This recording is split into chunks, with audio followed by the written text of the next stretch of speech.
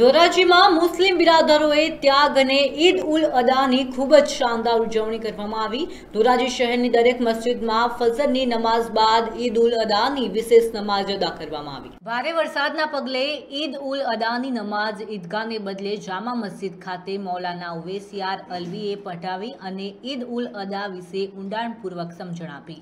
આ દિવસે ગરીબ, અનાથ બાળકો, વિધવાઓ વૃદ્ધો વગેરેનું ધ્યાન રાખવું. આ તહેવાર આપણને ભાઈચારા, ત્યાગ સમર્પણ અને માનવતાનો સંદેશ આપે છે.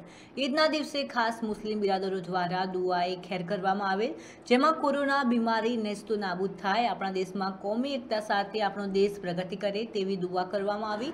કોરોનામાં પોતાના સ્વજનો ગુમાવનારને ખાસ ખિરાજે અકીદત પેશ કરાઈ.